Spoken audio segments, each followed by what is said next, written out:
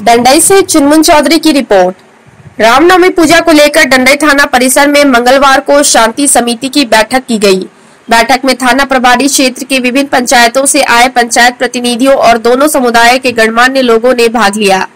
थाना प्रभारी सुनील कुमार पटेल की अध्यक्षता में हुई शांति समिति की बैठक में प्रखंड विकास पदाधिकारी सोमा उराव, अंचलाधिकारी चोनाराम हेमरम, विधायक प्रतिनिधि अलक निरंजन प्रसाद सहित प्रखंड के कई गणमान्य लोग उपस्थित थे।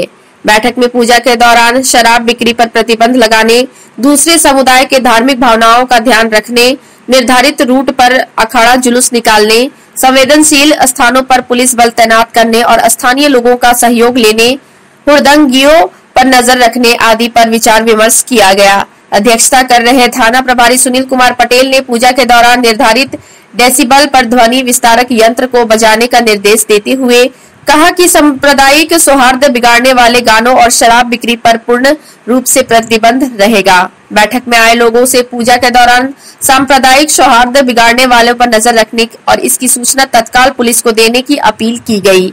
मौके पर पंकज विश्वकर्मा, आनंद प्रकाश, राजेश मेहता, संदीप कुमार कश्यप गुरबिगन बैठा, हनीफ शेख, कामिल अंसारी मुस्ताक खान, नगीना परहिया, हनीफ शेख कन्हैया प्रजापति, सूर्यदेव चौधरी, मनीष चौधरी, उमेश पासवान, रामनाथ पासवान सहित कई लोग उपस्थित थे।